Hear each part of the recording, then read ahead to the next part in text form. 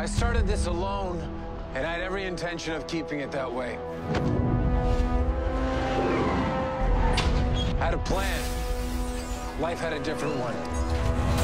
And then things just got stranger.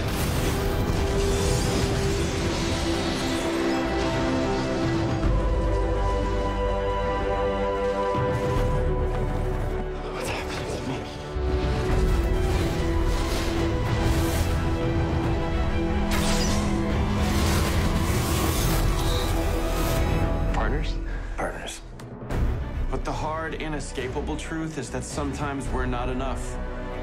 Sometimes the world needs a team. You call this a team?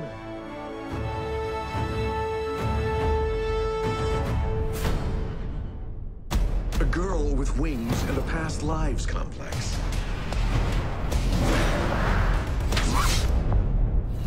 A deceased assassin. Criminals.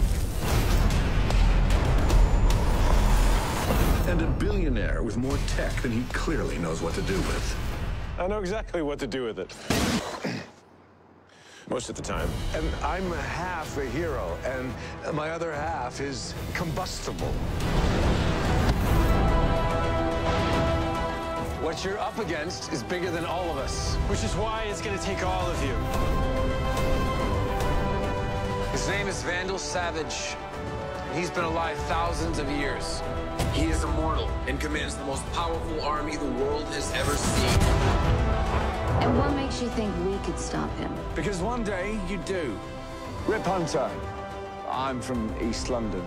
Oh, and the future. I'm a member of the Time Masters, an organization charged with protecting history itself. And in the future, as unlikely as it may seem, you people become a team.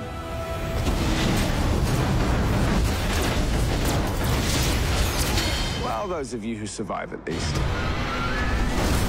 Savage's evil spans the course of history, so we will have to travel through time to stop him.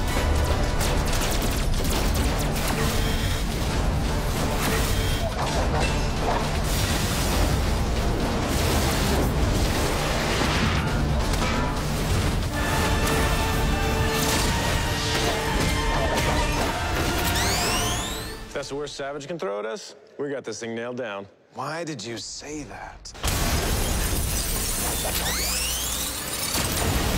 I can't imagine any kind of future where I'm a hero. Well, you're not. In the future, none of you are heroes. You're legends.